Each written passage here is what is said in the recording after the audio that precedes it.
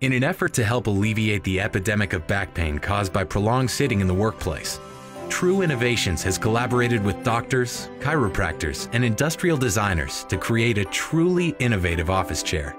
A chair that actually promotes better spinal health and wellness. We are proud to introduce our latest version of the Air Chair by Serta.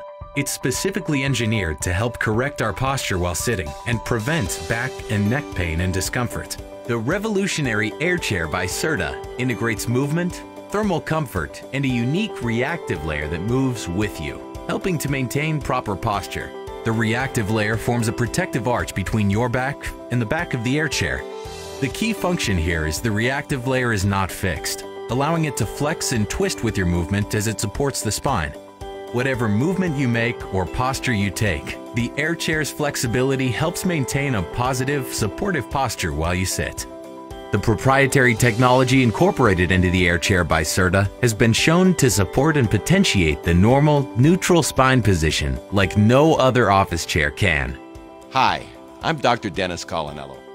When a human spine is in a neutral posture, it takes on an S shape, with the upper back position slightly outward and the lower back position slightly inward. This helps eliminate strain and prevent injury.